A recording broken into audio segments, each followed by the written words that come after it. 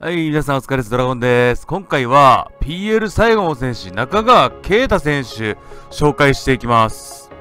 えー、清原選手とか前田選手とか、多くの名選手を輩出してきた大阪の古豪 PL 学園高校。そう、PL 学園野球部はもう存在しません。えその中でですね、2018年のドラフト会議で PL 学園野球部出身で、最後ドラフト指名選手だったのが、オリックスに所属する中川圭太選手です。その中川選手はですね、ルーキーイヤーながら早速活躍し、111試合出場、打率2割8分8厘、105安打、9盗塁という好成績をマーク。右方向へのヒット技術と粘り強さが最大の武器です。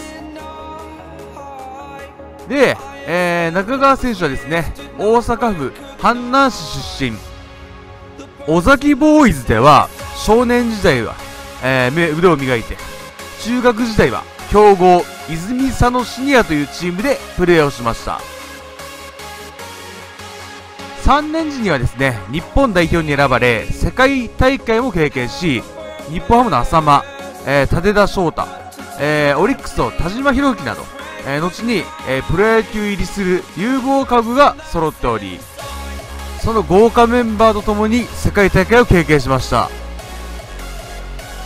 中川選手がですね、当時入っていた泉佐野シニアの監督は、PL 学園出身の田中和人監督で、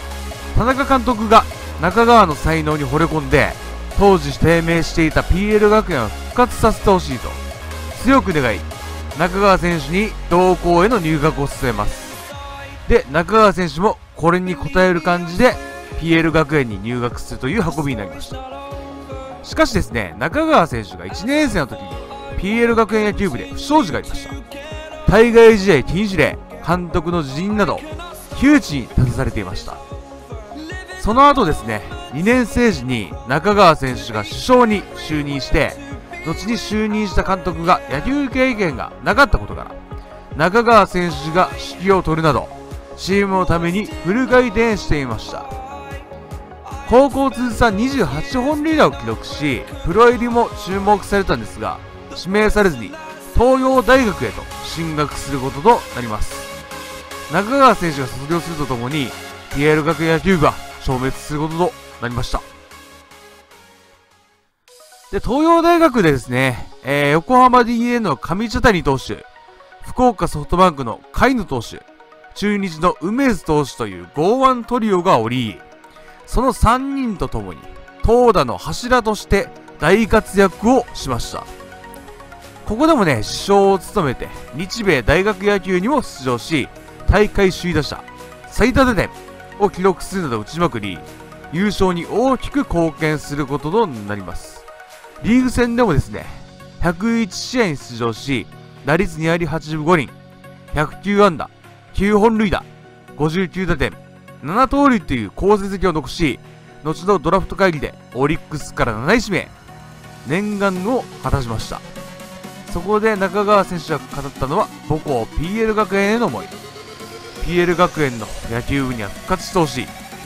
自分が最後の選手とは思ってない。もしも、えー、プロ野球でですね、えー、引退した時には